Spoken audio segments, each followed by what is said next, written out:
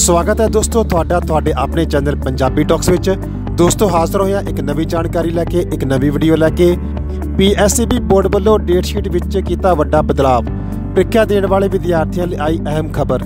ਦੋਸਤੋ ਕੀ ਹੈ ਪੂਰੀ ਅਪਡੇਟ ਆਪਾਂ ਜਾਣਾਂਗੇ ਇਸ ਵੀਡੀਓ ਵਿੱਚ। ਵੀਡੀਓ ਸ਼ੁਰੂ ਕਰਨ ਤੋਂ ਪਹਿਲਾਂ ਛੋਟੀ ਜਿਹੀ ਬੇਨਤੀ ਹੈ, ਅਗਰ ਤੁਸੀਂ ਸਾਡੇ ਚੈਨਲ ਤੇ ਪਹਿਲੀ ਵਾਰ ਆਏ ਹੋ, ਤਾਂ ਕਿਰਪਾ ਕਰਕੇ ਸਾਡੇ ਚੈਨਲ ਪੰਜਾਬੀ ਟਾਕਸ ਨੂੰ ਸਬਸਕ੍ਰਾਈਬ ਕਰ ਲੈਣਾ।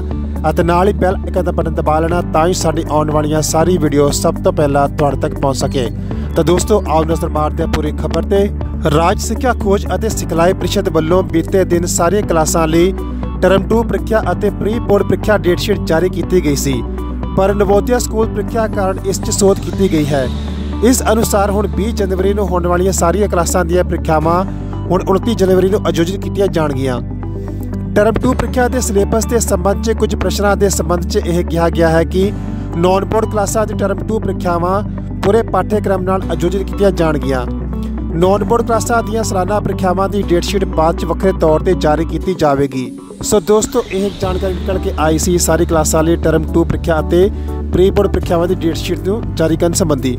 ਦੋਸਤੋ, ਇਸ ਤਰ੍ਹਾਂ ਹੋਰ ਵੱਡੀਆਂ ਅਤੇ ਤਾਜ਼ਾ ਖਬਰਾਂ ਦੇ ਲਈ ਸਾਡੇ ਚੈਨਲ ਪੰਜਾਬੀ ਟਾਕਸ ਨੂੰ ਸਬਸਕ੍ਰਾਈਬ ਕਰਨਾ ਨਾ ਭੁੱਲਣਾ। ਮਿਲਦੇ ਹਾਂ ਨਵੀਂ ਵੀਡੀਓ ਵਿੱਚ ਨਵੀਂ ਜਾਣਕਾਰੀ ਦੇ ਨਾਲ ਤਦ ਤੱਕ ਧੰਨਵਾਦ ਜੀ।